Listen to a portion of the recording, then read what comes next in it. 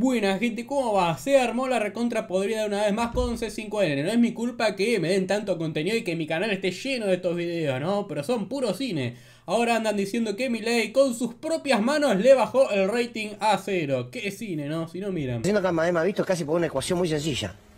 Que es que este canal cuenta lo que pasa. Y evidentemente el gobierno y algunos actores que siempre juegan con el poder eh, no quieren que esto se vea. Y esto es así de claro y de evidente. Y la verdad es que la audiencia de cada uno de los programas está creciendo muchísimo. Hoy pasó que el programa de Jorge Rial estaba midiendo números muy altos para un canal de noticias. Eso habla muy bien del programa, como el programa del gato, como el programa de mediodía de Luli Trujillo, eh, como el programa de cada uno, no importa. Pero lo concreto es que estaba en un número muy alto Jorge Rial hoy, por encima de los canales de aire. Digo, se los quiero contar para que pues porque a lo mejor no tienen por qué manejar las cuestiones de televisivas, con números que superaban los canales de aire. ¿Qué pasó cuando termina el programa de Jorge Riel y comienza el programa de Daniela Ballester y Julián Guarino? ¡Pum! Se corta, lo que decimos, bajaron la palanca, porque automáticamente en las mediciones fue cero. O sea, como que no había nadie del otro lado, nadie. De tener casi cinco puntos, que es un montón, un montón para un canal de cable, a las seis de la tarde, seis menos cuatro de la tarde, ese número extraordinario que estaba haciendo Argenzuela, lo bajan de golpe a cero. Bueno, también ustedes empezaron a denunciar. Y ahora, en nuestro programa, al comienzo del editorial, volvió a pasar eso. Volvió a pasar que volvimos a cero. Gracias a toda la cantidad de mensajes que tenemos todos los de aquí eh, eh, denunciando esto y las imágenes. Pero bueno, eh, bien, nada. Igual les cuento algo, están teniendo muy buen rating lo de C5N, ¿no? muchas veces están primero y está todo más que bien en ese sentido, ¿no? Pero ahora lloran porque aparentemente hay un problema técnico o no sé cuánto. Preocupan los cortes de C5N en Flow. Cientos de usuarios vienen denunciando reiterados cortes intermitentes de la señal de C5N en Flow. Llamativamente, las interrupciones se dan cuando el canal viene liderando el rating del mes de mayo entre las señales de noticias, mostrando como siempre la realidad y con hashtag, ¿no? De lo que sucede en la Argentina en materia política, económica y social. Bueno, un problema de ese 5N son cosas que pasan, ¿no? Capaz que tienen un Shadow One o algo por el estilo, ¿no? Qué sé yo, ni idea. Pero bueno, cambiando de tema, ley y el Pacto de Mayo, se la quisieron recontrapudrir. Que el, más duro y, es Aguiar, que últimamente Ate, ¿no? El titular de Ate este, tenés lo, teníamos a lo de Aguiar, ¿no? Este, duro. Ese sí, le vamos a hacer un piquete. Este, ahí está, ¿no? Ahora. no lo vamos a dejar llegar, ¿no? Sí. Sí, y creo que teníamos la, la palabra. bloquear mañana el aeropuerto de Córdoba. Yo no sé cómo van a hacer ahora para bloquear, si va en helicóptero, ¿no? Por eso creo que hicieron jugar también el helicóptero, ¿no? También me parece, vi los ensayos que estaban haciendo para descender en el centro cívico, que es allí muy pegadito al río Suquía. ¿Eso qué es un helipuerto, en serio? Es un helipuerto. Ah, ok, Sí, sí, sí. Eso que vemos allí. Es un helipuerto. El centro cívico es a donde se trasladó el, gobierno, la administración del gobierno de la vieja Casa de las Tejas a este lugar. Eh, donde... Eso es un helipuerto, ¿no? Exactamente. Es que están, están no, no, improvisando. No, no, no, para nada, para nada. Es un helipuerto. Y lo que creo que estaban tomando nota de la distancia, los tiempos en que le llevaría luego al presidente ir hasta la Plaza San Martín.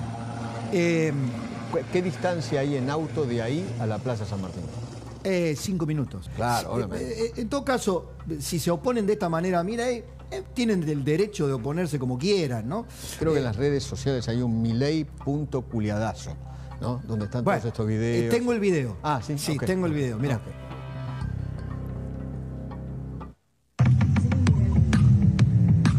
Milei viene a Córdoba este 25 de mayo y lo queremos recibir como corresponde, con vos, porque somos la comisión de recibimiento y vamos a dar vuelta a la ciudad.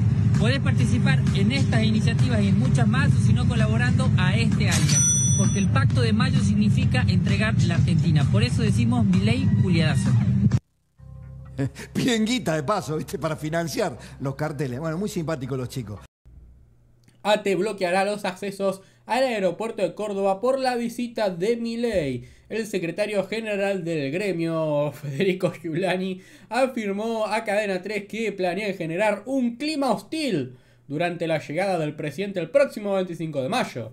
Eh, lo vamos a declarar persona no grata, dijo. Bueno, que, Dios mío, ¿eh? ¿Qué, ¿qué, es un gobernador, un presidente para declarar persona no grata a alguien? Pero bueno, tiene problemas en España, acá, eh, es todo cine, ¿no? Pero bueno, ya lo domaron, me parece, el muchacho y van por otro lado, ¿no? Pero bueno, la idea es que no debería de ocurrir estas cosas y tener que recurrir a otros aeropuertos o a, otros medios de transporte, ¿no? En fin, también tenemos a los repartidores de papas fritas en el acto de Miley, ya que el tipo o es alérgico, una vuelta lo de Mirta dijo que hay gente alérgica a las papas fritas, algunos dicen que eh, fobia porque según me dijeron que me contaron, el padre se les hacía tragar o los fajaba, ¿no? Esto es info de que me dijeron que me contaron. Me dijeron que me contaron, ¿no? Lástima que Canosa no estaba al aire para reaccionar ante semejante cine de, las papas fritas, ¿no?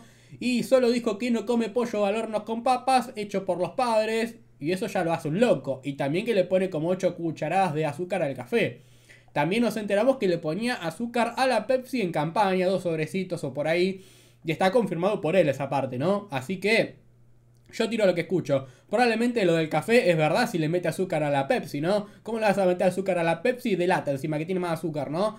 Así que bueno, algunas cosas son incomprobables. Lo de que lo fajaba ahí, todo eso es medio incomprobable, ¿no? Pero bueno, eh, si toman mango loco, puede pasar cualquier cosa, ¿no? Puede ser un desequilibrado totalmente, ¿no? Ya solo tomando mango loco, ya está. Ahora de que Javier Milei participe en un acto por el 25 de mayo en Córdoba, opositores salieron a regalar conos de papas fritas en el centro de la capital de la provincia. La movida de repudio a la presencia del presidente se organizó por Instagram y fue bautizada como el papa fritazo, ya que es el alimento que el libertario detesta. Pero bueno, Beliboni ahí durmió. Yo hace poco había dicho que tenía que hacer un papafritazo frente a la Casa Rosada, pero cuando estaba mi ley ahí, ¿no? Obviamente.